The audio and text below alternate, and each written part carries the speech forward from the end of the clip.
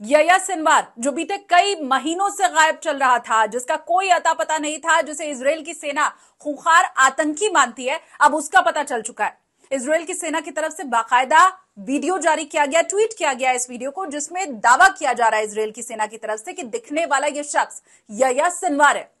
देखिए, इस वीडियो में सबसे आगे चलता हुआ जो शख्स आपको दिखाई दे रहा है, वो भाई है यया सिनवार का, इब्राहिम इसका नाम है। फिर उसके पीछे एक महिला जाती हुई दिखाई दे रही है, ये यया सिनवार की पत्नी है। फिर तीन बच्चे जाते हुए दिखाई दे रहे हैं। सबसे आगे लड़की चल रही है, उसके हाथ में डॉल आपको दिखाई देगी। फिर दो लड़के पीछे से जाते हुए दिखाई देते हैं। ये तीनों बताया जा रहा है, यया सिनवार के ही बच्चे हैं। उसकी एक पत्नी सबसे आगे गई और ये सबसे पीछे जो शख्स आपको चलता हुआ दिखाई दे रहा है, यही है यया सिनवार। हमास ये बोलता है कि उसकी पॉलिटिकल विंग जो है, उसी का एक नेता है यया सिनवार। मतलब हमास की तरफ़ से कोशिश यही रहती है बताने की, जताने की कि यया सिनवार तो उनका एक नेता है। जबकि इसराइल बार बार पूरी दुनिया को ये बता चुका है कि ये कोई नेता नहीं है, बल्कि ये खुखार आतंकी है, ओसामा बिन लादेन तक से इसकी तुलना की गई है। यया सिनवार के लिए यही कहा जाता है कि वो तो बच्चों तक को नहीं बख्शता है। उसको चाहे मौत के घाट बच्चों को उतारना हो या फिर हथियारों के दम पर कोई भी दहशत गर्दी का काम करना हो, वो सब यया सिनवार करता है। और अब इसराइल की जो सेना है, वो डरपोक बता रही है यया सिनवार को। जो वीडियो जारी किया गया है, उसमें डरपोक शब्द का इस्तेमाल किया गया है यया सिनवार की तरफ़ से, क्योंकि सात अक्टूबर को हमला किया गया था इसराइल के ऊपर, तब से लेकर के अब तक। छुपता फिर रहा है यया सिनवार।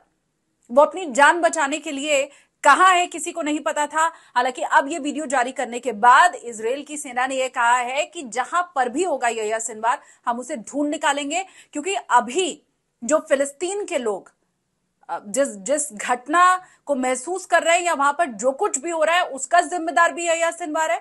इसराइल पर हमला जो हुआ था, उसका जिम्मेदार भी था। अब तक इस पूरे जंग में जितने लोग मारे गए उन सब का जिम्मेदार इसराइल की सेना, इसराइल के लोग, वहाँ की सरकार यया सिनवार को ही मान रही है। और इसीलिए उसे ढूंढकर मौत के घाट उतारना, इसे अपनी पहली प्राथमिकता बताया गया है इसराइल की सेना की तरफ़ से। देखिए, एक सबसे बड़ी बात इसमें यह है कि जब हमला हुआ था, तब से लेकर के अब तक यया सिनवार गायब है, कहीं उसका अता पता नहीं था। और अब ये जो वीडियो आया है, ये दरअसल हमास ने जो सुरंगों का जाल बिछाया था गाजा के अंदर ये उसी जगह का, उसमें से ही एक सुरंग का वीडियो बताया जा रहा है। अब देखिए, ये हमेशा से यया सिनवार ने कहा है कि हमें खराब आना बहुत मुश्किल है, क्योंकि गाजा के अंदर हमने दो तरह के रास्ते बनाए हैं। एक तो वो रास्ता, सड़क का रास्ता, जहाँ से गाजा के जो आम लोग हैं, वो चलते फिरते हैं और जिस रास्ते का वो इस्तेमाल करते हैं, या फिर ये सड़क का वो रास्ता है जिसे पूरी दुनिया देखती है।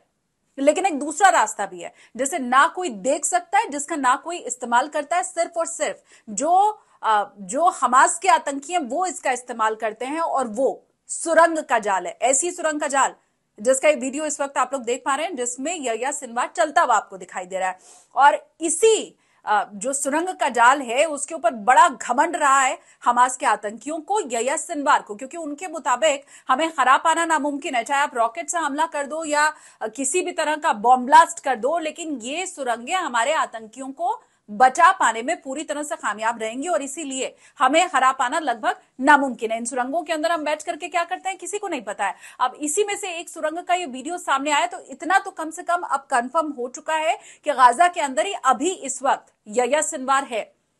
वो फिलिस्तीन को छोड़कर अभी तो नहीं भागा हुआ है। अगर पहले वो किसी दूसरे मुल्क में रहा भी होगा तो इस समय जब का ये वीडियो जारी किया गया है इसराइल की सेना की तरफ़ से तो इस वक्त तो वो अभी गाजा में ही मौजूद है और इन सुरंगों के भीतर ही है। तो अब ये कह रही है इसराइल की सेना कि हम यया सिनवार को ढूंढकर उसे ज़रूर मार गिराएँगे।